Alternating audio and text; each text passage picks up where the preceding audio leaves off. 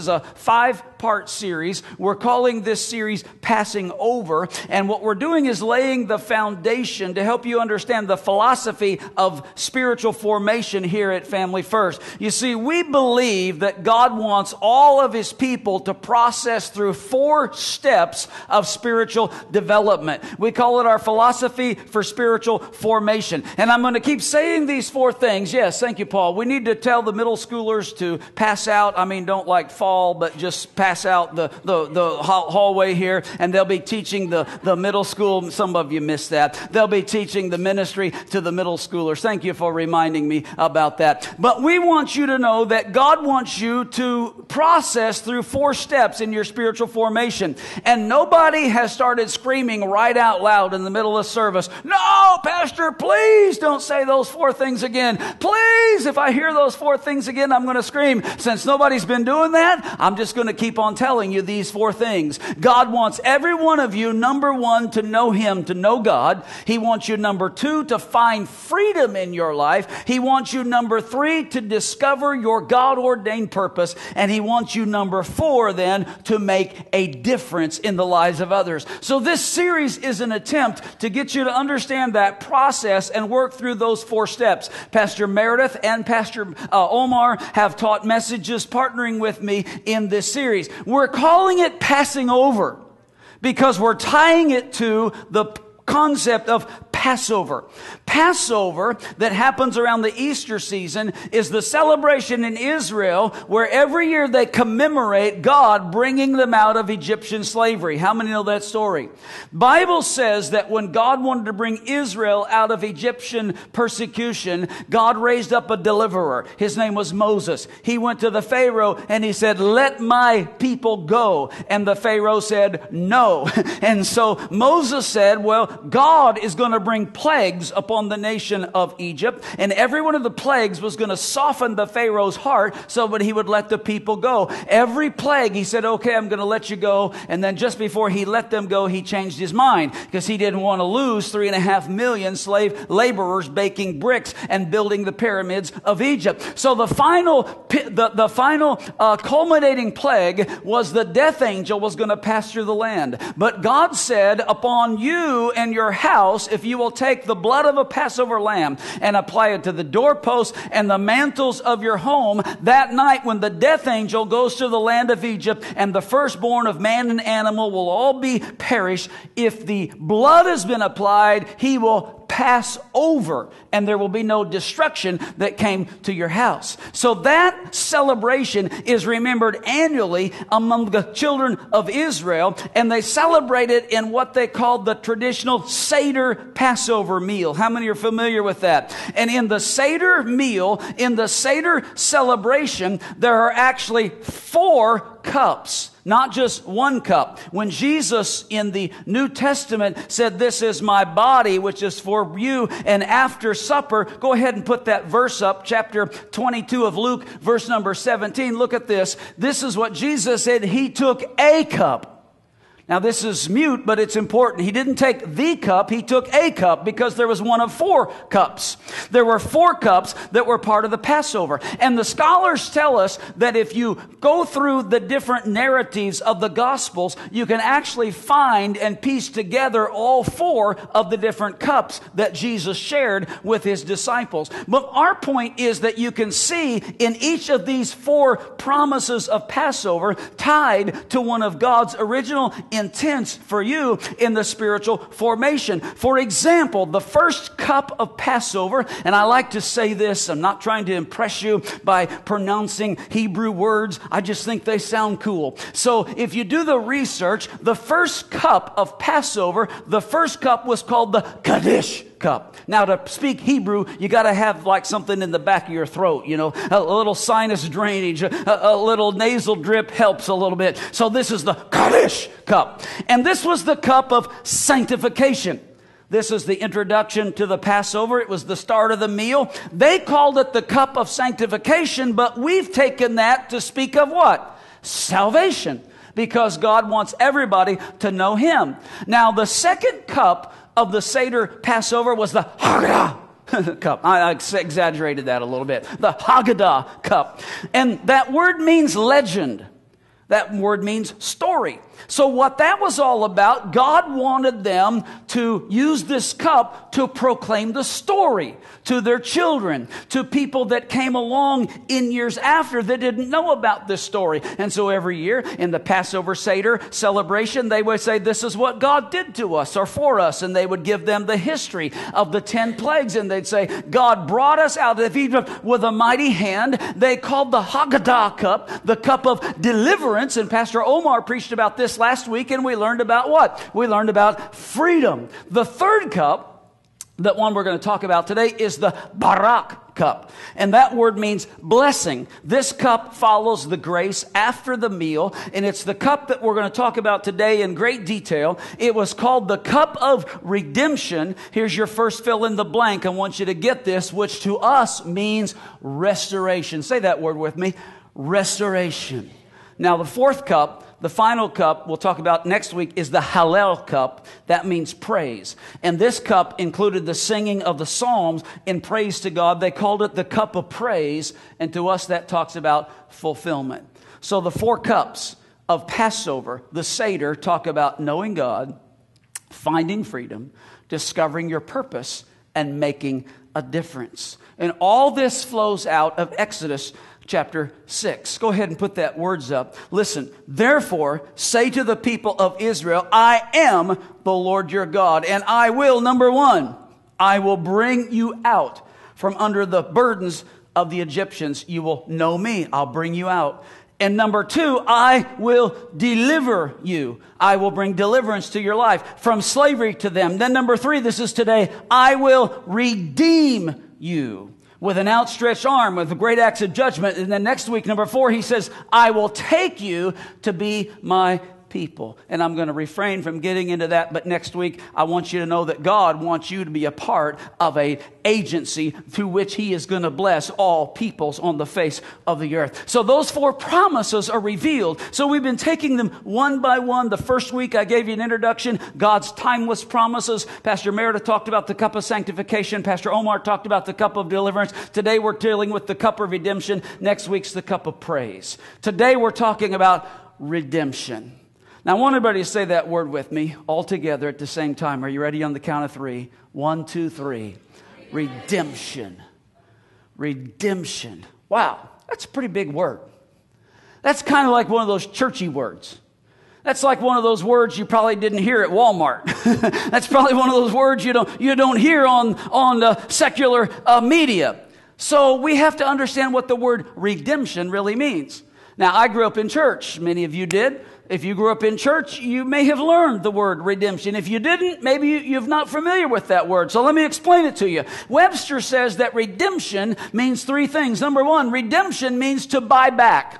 It means to repurchase, to clear up a debt, to offer full payment for something. If something was mortgaged, if something was hocked, if something was at the uh, pawn shop, you would redeem it. You would go and you would repurchase it and you would buy it back. Secondly, redemption means to change for the better, to reform, to repair, or to rehabilitate. But thirdly, redemption means to restore.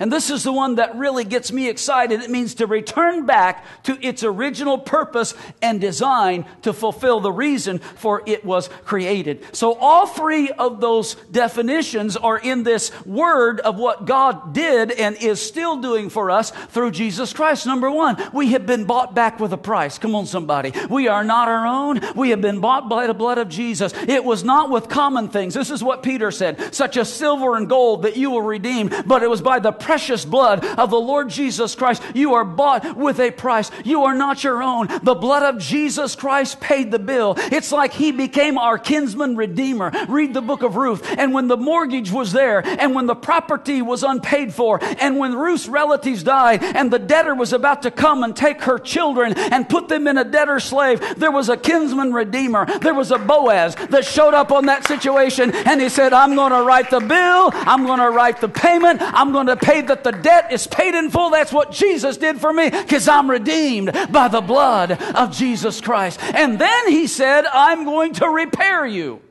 I'm going to repurpose you. I'm going to restore you. I'm going to re rehabilitate or reform you. But I like to say this In the body of Christ, when we come to Him, we are not repaired. Come on, somebody. We are not reformed. We are not rehabilitated. We are not just cleaned up a little bit. We are completely recreated. For any man that is in Christ is a new creation. Old things have passed away and all things have become new. He changes for the better. But then thirdly, to, res- to redeem means to restore us back to our original design so that we can fulfill our original purpose. Now, look at this definition on the screen, and I wrote this very carefully. God's redemptive plan is to buy us back, going up, that might be the next one, to buy you back from slavery to sin, completely recreate you back to what you were intended to be so that you can be restored to your original purpose and design. And there's a word that we use for that process, and that's the word restoration. Restoration. Redeeming us, completely recreating us back to what we were intended to be so that we can be restored to our original purpose. And how many know a picture is worth a thousand words? It's like God would take a car. It's not what it used to be. It's all rusty now. All the parts are there, but it just doesn't look like it once did. It's all rusty now. I don't know if it runs or not. The tires might be flat. This is not my car. I just found this picture. But, uh, but, but there it is. But what God does, He says, I'm going to redeem this car. Go up to the next one. And God may have seen you one day sitting on the side of the road and God said, you know what? I'm interested in that, in that piece of workmanship there. It's not what it used to be. It's not quite in all of its former glory, but all the parts are there. And it sat there for about three or four weeks, and nobody really gave it a whole lot of attention. But one day God came along and he said, How much is it going to cost to, to purchase this so I can rebuild it, so I can restore it. And God said, okay, that's the price. Here's the price of the blood of Jesus. That thing is paid in full, and I'm going to bring it home. Come on, somebody, go to the next one. I'm going to bring it home. I'm going to park it in my driveway, and everybody knows that it's in my driveway. It's sitting there in my house. But then God said, even though it's in my house and it's restored and it's uh, it's uh, it's repurchased, there's got to be some work done on this thing. So, what we're going to have to do, we're going to have to start taking parts out of it. Because those parts are there and there's potential. Come on, help me preach this, Dave. And they're all, they're all there. And this thing is going to be restored to its glory. We're going to polish it up. We're going to repaint it because God said when I pulled the hood of that thing and I looked down in there, I saw a treasure underneath that 1970 Mach 1 hood. I saw there was a 351 cubic inch Cleveland engine with a four barrel carburetor. And God said we're going to clean that thing up and we're going to refurbish it and we're going to put it back in. And when we fire that thing up, it's going to be running on all eight cylinders Oh, come on, somebody, rev your motor. That's what I'm talking about. God says, I'm going to fire you up, and you're going to be restored to full viability. So then God says, Well, you know, we got to work on the outside a little bit. Because even though you look perfect on the inside, everybody else is looking on the outside. So God says, We're going to put you in the body shop. And we're going to start taking off some parts. And we're going to start cleaning you up. We got to get the interior cleaned up. We got to get the exterior refurbished. We, we got to make sure that everything is clean and sanded and prepared because we're going to put on some color. We're going to put out a spray gun and we're going to turn that thing back because everybody knows every 1971 Mach 1 was intended to be grabber blue. And so God says we're going to put you back to the color that you were intended. And somebody get ready to shout because God says there's going to be a reveal. The Bible says in the book of Corinthians that all of creation awaits for the manifestation of the sons of God to be revealed. And God says, I'm going to take you home. And when I get you at home, every day is like Christmas Day because I'm going to repurpose you. Come on, turn it up a little bit. And you're going to fulfill what your original purpose for design was. And that was to do a Holy Ghost burnout in the name of Jesus. Come on, somebody. Praise God. Hallelujah. Hallelujah. Let that go just a little bit more. Now, this was before we put the stabilizer bars on the back. That's why there's so much body sway here on this, on this donut. But come on, somebody. That's what God wants to do for you. Woo! Somebody said, Pastor Coats, that's not very spiritual. I didn't ask for your permission. I didn't ask for my wife's permission to tell this because I thought she would probably say, don't do it. I figured it would be easier to get forgiveness than it would be to get permission. You say, well, that's not very spiritual. If it happens to you, it's very spiritual. Because God picks you up on the side of the road when nobody else cared, when nobody else was interested, when no one else was willing to fork up 39 cents. But God said, I'm going to pay the price. I'm going to redeem you. And then once you belong to me, I'm going to start working on the inside. And then the inside transformation is going to be revealed on the outside. I don't know if you missed this while ago because the motor was running, but the Bible says in Romans that all creation awaits for the manifestation of the sons of God to be revealed. In other words, God said there's going to be a day when I'm going to pull you out of seclusion and I'm going to put you on display and all the world is going to say, this is my son, this is my daughter, created in my image, created in my likeness, and they are here to give glory and praise and honor to Almighty God because He wants to restore. He wants to completely restore you to everything that you are intended to be. Now, how many are willing to listen now and learn some things? We've had some fun. Now we're going to learn something. Here at Family First, we're talking about loving God with our minds. So here it is. Here's my pastor's hat now, my teaching hat. So many people get stranded in the process between cup two and cup three. They find God, they're struggling to get free, but they never get to that point of full redemption. They don't get to that point of restoring back to their original purpose and design. One statistic says that 87%, that's pretty high, 87% of church people, churchgoers in America, never get beyond step two. The reason for that is found in the very promise itself. Look at Exodus chapter 6, verse 6, the last part of the verse.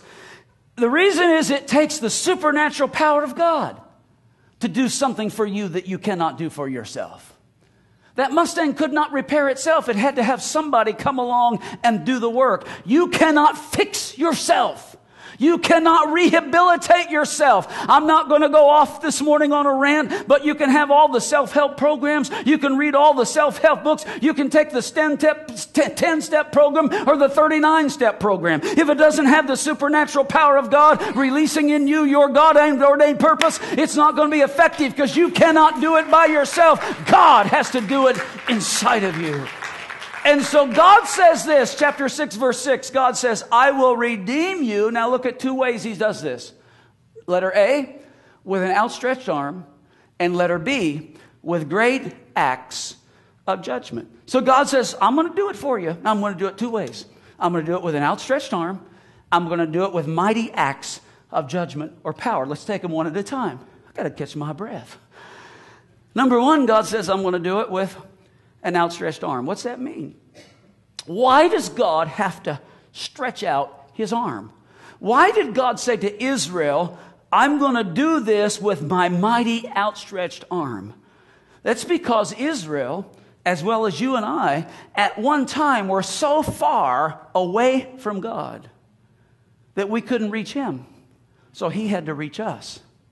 We were so low we were so down. We were so humiliated. We were so decimated. We were so broken on our self portrait. In fact, even if religion told us we need to try to reach up to God, we said we can't do that because Christianity is not man reaching up to God. That's what religion is. Christianity is God reaching down to man. And so God said to Israel, I'm going to do this by my own design. It's not going to be you reaching out to me. It's going to be me with my mighty outstretched arm reaching down to you, no matter how low you are, No matter how far away you are, no matter how broken you are, I'm going to reach down with my mighty right arm and I'm going to pull you up. So Ephesians chapter 2 verse 12 says, remember that you were at one time separated from God, alienated from the commonwealth of Israel and strangers to the covenants of promise, having no hope without Christ and without God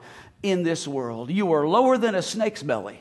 I mean, you are without hope without God, you are totally in inferiority.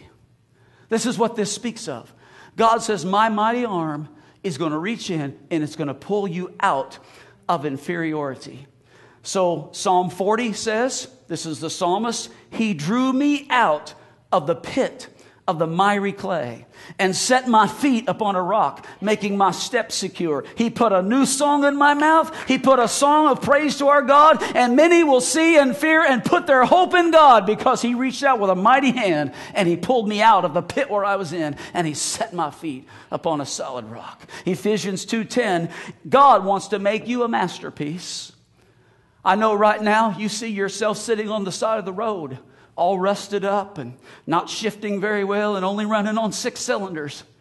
But God sees you as a masterpiece. And this is what the Bible says we are God's masterpiece. He created us anew in Christ so that we can do the things that He planned for us to do long ago. What's the ultimate restoration? To be fulfilled back to your original design and purpose. And so God says, I'm going to do that with my outstretched arm. He also says, I'm going to do this with what?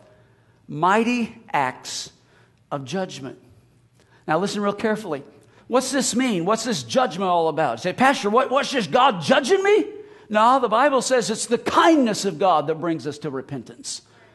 God's not judging us in this verse. What's he judging? Who's he judging? He's judging the devil. He's judging those forces and powers that are opposed to us, that are resisting us, that are trying to get us off the track. And if we understand this, God says, I'm going to bring a mighty act of judgment against devils and evil spirits that try to deter you and divert you from the path into the perfect restoration that I have for you. So this speaks to me speaks of diversion, not just inferiority. That's his right arm that pulls you out of that. But diversion, he says, yeah, Satan has worked a number on you, son. He, he's got you off track. He's got you diverted. He's allowed pain and hurt and all kinds of tragedy and, divorce and bankruptcy and separation and all this stuff. Satan has allowed all that to happen in your life and he's diverted you. How many know God's got a plan for your life? Right. Not a trick question. How many know Satan has a plan for your life? Oh, and how many know when God sends, I don't mean to embarrass anybody here this morning, but God sends his people to church on Sunday morning? And sometimes the devil sends his people to church on Sunday morning.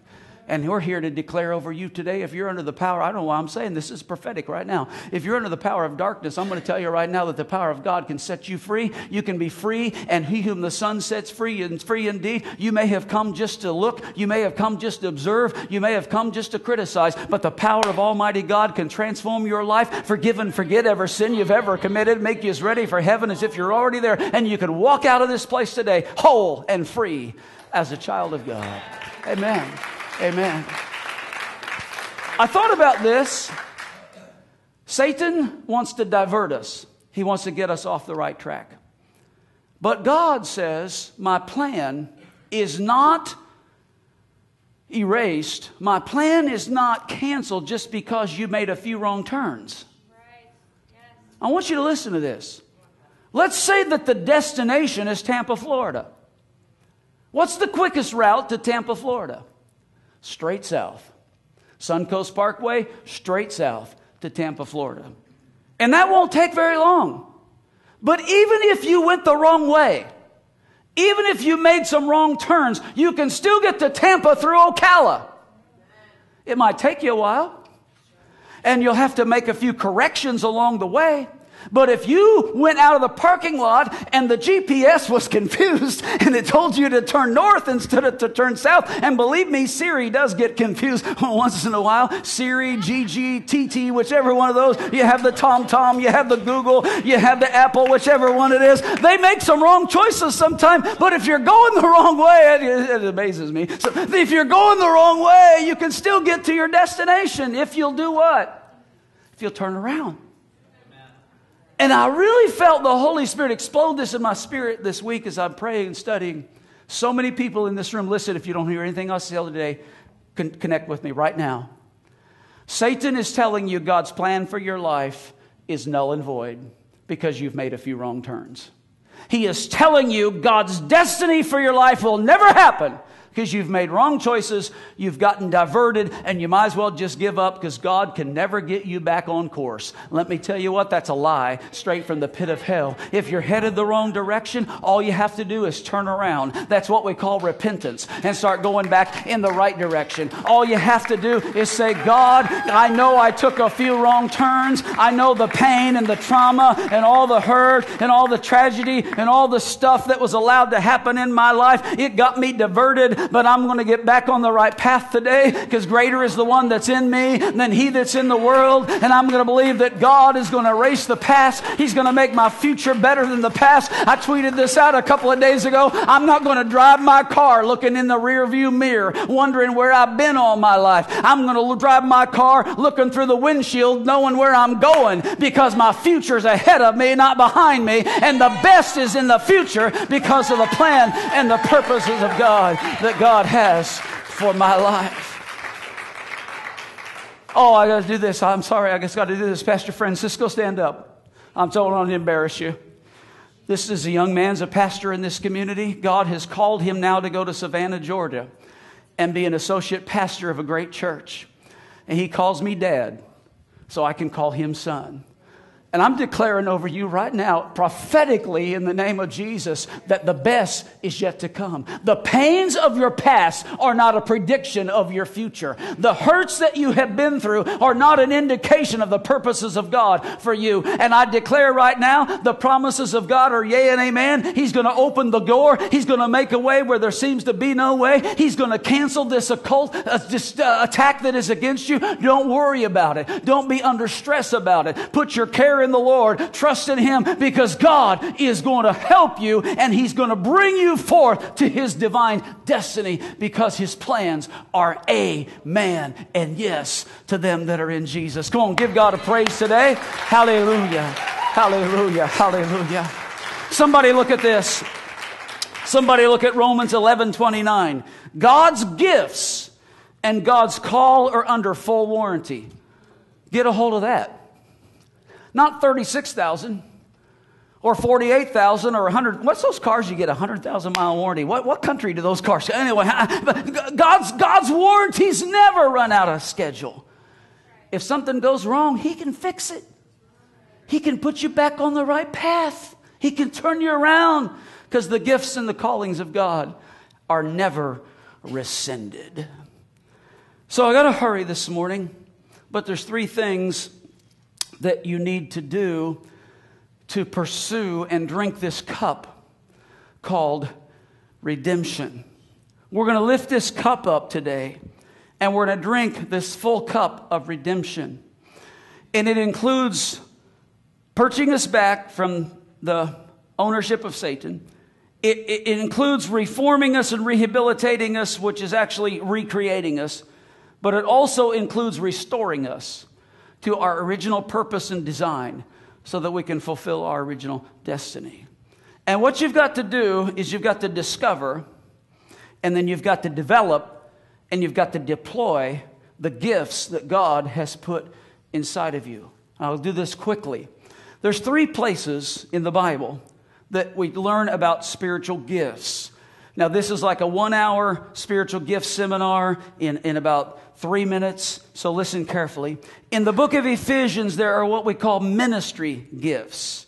That's where Ephesians chapter 4 says it was God who called some to be apostles, some to be prophets, some to be evangelists, and some to be pastors and teachers. God said these are ministry gifts to the body of Christ. And I'm not going to linger, but I'm sure glad today that God still has all five fingers on his hand. I don't know if everybody knows what that means, but God is not an amputee. God is not willing to let the church in America, maybe we don't understand the apostles apostolic, and maybe we don't understand the prophetic. We understand pastors, teachers, and evangelists. So God's not going to allow us to cut three, two fingers off of his hand just because we don't understand the apostolic and the prophetic. God still has all five fingers on his hand, and he can still use all five members of the fivefold ministry to empower the church to build up the saints to do the work of the ministry. And besides, I got to tell you this Ephesians chapter 4 says that God has called apostles apostles, prophets, evangelists, pastors, and teachers to do what? To do all the work of the ministry so that everybody else just sits in the pew and shouts amen when the pastor says something good. Wrong. It's so that we can do the work of the ministry. My job's not to do your work. My job's to get you to do your work, to equip and to train you to do the work of the ministry to fulfill the gifts of the calling of God. So there's ministry gifts. And then in 1 Corinthians, there's manifestational gifts. I'm not going to get into that, but those are the gifts of tongues and interpretation and wisdom and knowledge and faith and miracles and all that. But the ones I want to emphasize just a couple of minutes are the motivational gifts of Romans chapter 12. If you've not done so, you need to read Romans chapter 12 again. And in chapters uh, 12, verses 3 through 8, God says there are seven motivational gifts. And I want to give you this quickly. I believe that at the time of your conception, at the time you were conceived in your mother's womb, before you were ever born, the Father, that's God, your Creator, instilled into you a primary and a secondary motivational gift. And those motivational gifts determine almost everything there is to be determined about your life. They determine your personality, they determine your desires. They determine your, your talents, even sometimes your abilities, because you, will pursue some things and not pursue others because you're more interested in being proficient in some areas and you're not interested in pursuing talents and, and abilities in other areas. So the motivational gifts, the personality traits, one of the seven, a primary and a secondary, that are put inside of you the moment you were conceived in your mother's womb they determine the divine design that God has for your life. And if you read Romans chapter 12, you, will see that there's seven of them. There's one that's called prophetic or, or prophecy. That doesn't mean telling the future. That doesn't mean you know, eating uh, uh, uh, camel's uh, uh, uh, what, what, did John the Baptist? he got his attire. He, he wore camel's hair. He, he, he ate locusts and wild honey. No, prophetic just simply means you're an articulate person with a ability to speak forcefully and boldly, and God will use you to prophesy to the body of Christ. Others not only are prophetic, but they're also serving. They're, they're ministry people. There's others that are teachers. There's others that are exhorting. That means encouraging. There are some that are giving, and that explains itself. There are some that are good in administration. That means organizing and, and leading and, and conducting systems. And then there are others that are mercy motivated people. God bless their hearts. Everybody needs mercy motivated people. Come on, somebody. Mercy motivated people are compassionate. They're the people that are caring and consoling and loving. So, prophetic, ministry, teaching, exhorting, giving, administration, and mercy. There's a primary one of those, and there's a secondary one of those in every one of your lives. And what you got to do is discover it. You don't decide it, you discover it. Because when you discover it, it's going to open up to you the divine design that God had intended for you from the day that before you were ever born for you to fulfill his destiny over your life. Look at this definition. Motivational gifts are resident personality traits, abilities and gifts given to us by our creator at the time of our conception in our mother wombs for the purpose of kingdom advancement. Now, when you read the uh, list of the motivational gifts, you'll discover that there's no gift of suspicion. there's no gift of inspection. Some people think that their gift is to inspect everybody else's gifts. Come on, I'm preaching a lot better than you're responding right now. Some people think that their job is to make sure that everybody else does their job. No, there, there's no gift of suspicion. There's no gift of, of uh, inspection. And if your idea of leading is a word that starts with the letter B, if you think leading sounds more like bossing, then you haven't begun to understand what the motivational gift called leading is. There's a big difference between leading and bossing. I'm sensing a little pushback right here. I think I'm just going to linger here for a little while. Telling other people what to do is not leading. Try herding some cats sometime. It doesn't go very well. What you got to do is you got to lead the sheep. You can't drive the sheep, you got to lead them. I'm preaching pretty good right now. And I'm going to tell you, there's people in this room that God has called you into leadership in the body of Christ. But the number one thing you got to learn to be is a servant leader because there's no one that's more effective than a servant leader. And a servant leader doesn't say, Do what I say. The servant leader says, Do what I do. Follow me as I follow after the Lord. Get in line. We're going to fulfill this thing. We're going to work together. It's not about bossing, but it's about leading. And it takes a lot more work to lead than it does to boss. But it's a whole lot more effective and a whole lot more long lasting. I'm going to get myself a CD of this and listen to it this afternoon. Hallelujah. So discover your gift. And then what do you got to do? Develop your gift. This is huge. So many people are not willing to develop their gift. They'll say things, well, like, if this is what I'm called to do, then I'm just going to do it. And I don't need anybody to teach me. I don't need anybody to show me. I don't need anybody to mentor me. I'm just going to do it. Well, let me tell you what. Your gift, it might be divinely instilled inside of you, but the moment that God put it in you, it was not fully developed. And so you've got to take the seed of the motivational gift and develop it not expect God to just do everything on His own. You got to do a little bit of work yourself. You got to develop your gift. You got to grow your gift. You might be gifted and you might have musical abilities and you might be able to be, be called to, to be up here on this, on this worship team. But if you can't carry a tune in a bushel basket, if you can't tell a time signature from a, a, an, an arithmetic plan, if you don't know the difference between the staff and tic tac toe, your gift might not be the prophetic leading of the body of Christ in worship. So you need to learn a little bit about music. Need to learn a little bit. Oh, I'll bless God. They'll just listen to my voice. No, you're walking to the tune of a beat of a different drummer, man. and everybody's got to get on the same page. Are you with me? Discover your gift and then develop it. Pastor, somebody needs to go to the hospital and visit those people that are hurting and suffering and they're in such pain. Yeah, but it can't be me. I don't even like sick people. I, I don't like to be around people, they depress me. Well, then it's probably not your motivational gift to go on a hospital visitation. Are, are anybody connected to some of this? You know, you got to discover your gift, develop your gift, and then what you got to do? You got to deploy your gift. You got to start using it. I know this is probably a bad illustration, but I used to use it and I can't correct myself. Sometimes you got to get a Nike anointing. Not a, not a good thing right now, but, but, but you got to just do it. You got to just do it. Don't wait for somebody to beg you. You know what we taught the people last Sunday in Growth Track?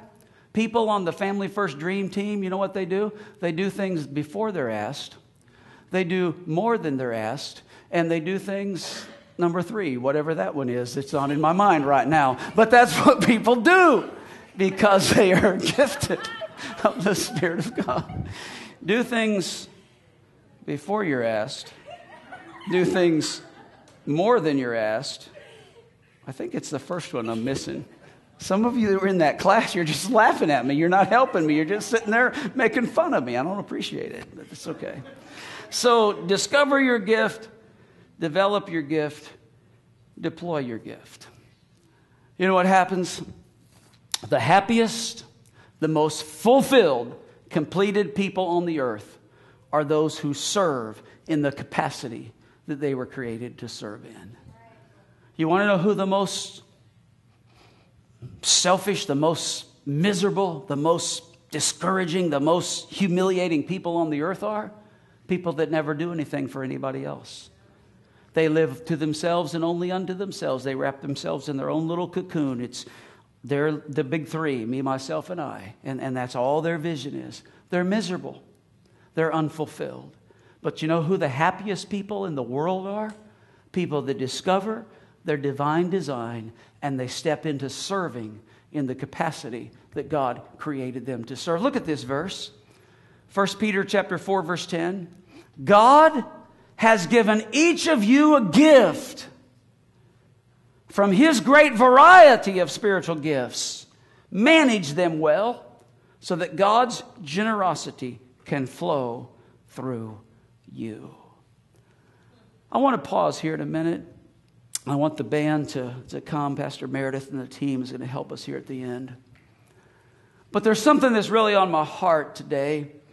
And I didn't give this verse of scripture earlier, so I want to give it to you now because I was praying this week, I really felt like this is what the Lord was, was saying today as a rhema word. Some of you were on the right path. You were headed to the right direction. You were pointed south. You were going to Tampa. But for some reason, you turned the wrong direction. For some reason, disaster or pain or some sort of tragedy came into your life and you got diverted. And you're thinking today, Pastor, well, I just lost it and, and there's no chance of me recovering it. There's no chance of me now getting back on track.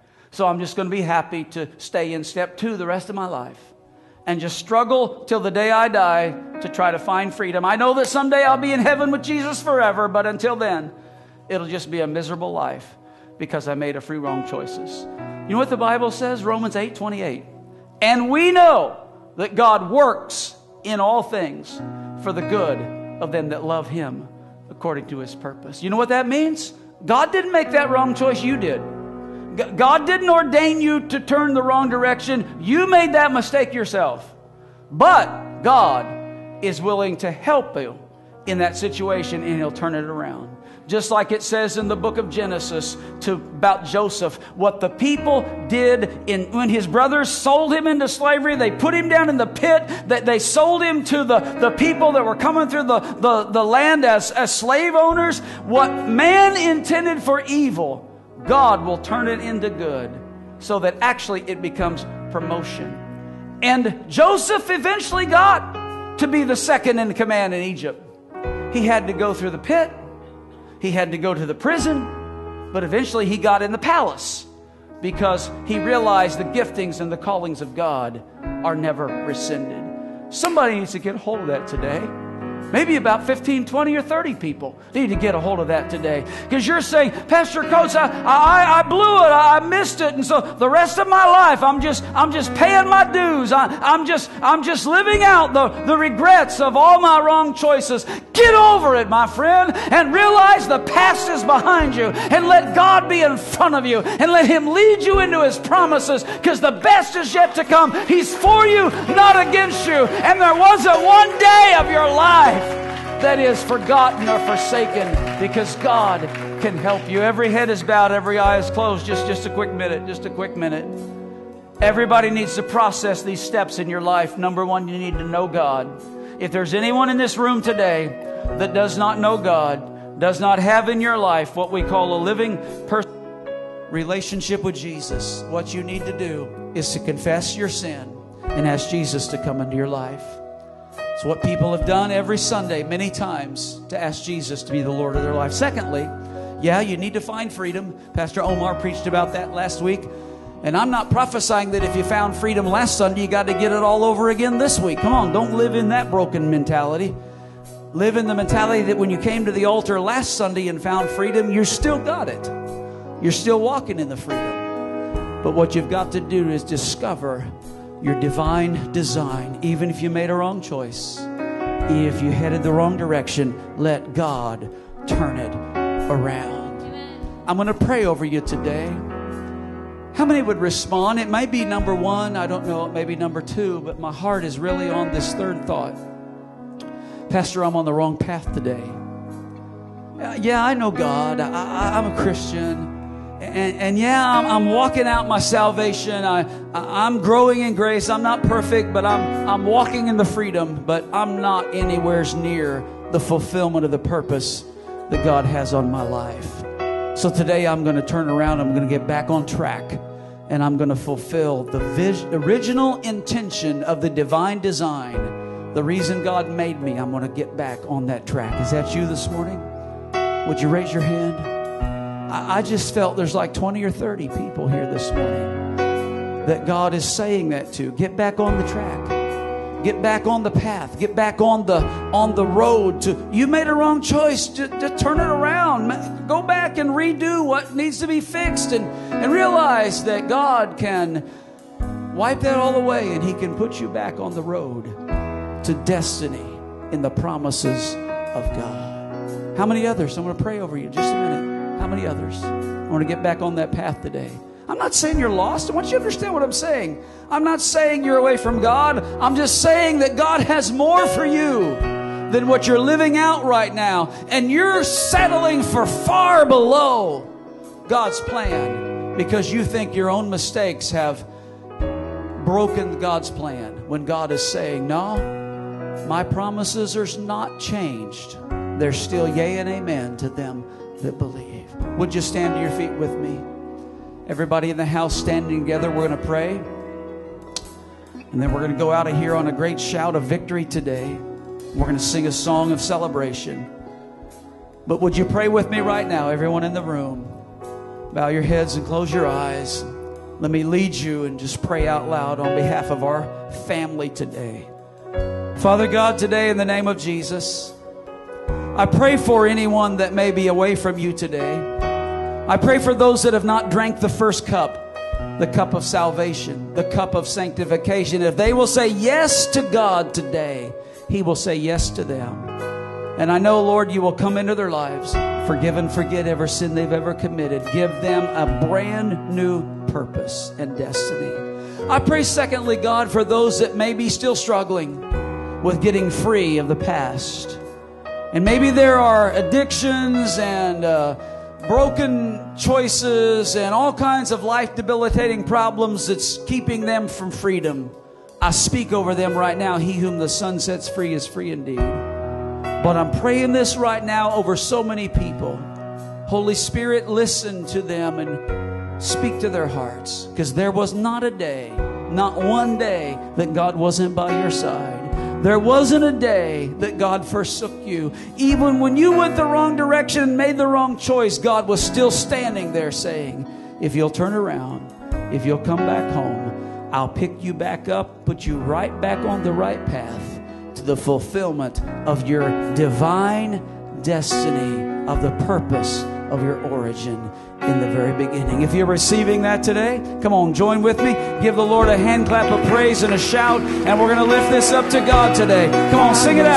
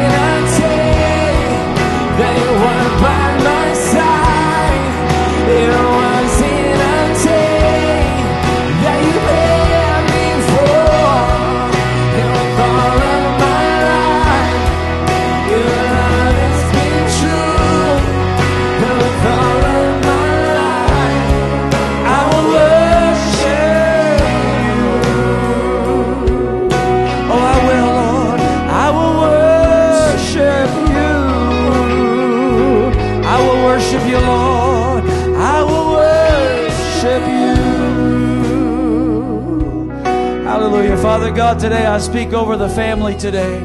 I speak over the family, first family today, that they can get back on the right track, regardless of wrong turns, regardless of wrong choices and they can go in the right direction and know that your divine design has not changed. They're still the person that you originally designed and created them to be to fulfill the purposes of God on their life from the time that they were conceived in their mother's womb. We receive it today with great joy in Jesus' name. Amen. Amen. Come on, slap somebody a high five and tell them I'm on track today. I'm on track today. I'm on track today. If you would like prayer, we're going to be in the front for a moment. We would love to greet our guests today in the cafe. May take us a moment to get there, but if you'll stick around, we'd love to greet you there for just a few minutes, shake your hand and meet you. If you'd like prayer, come to the front. We welcome the presence of the Holy Spirit today to minister to you in a wonderful day today. God bless you as you go.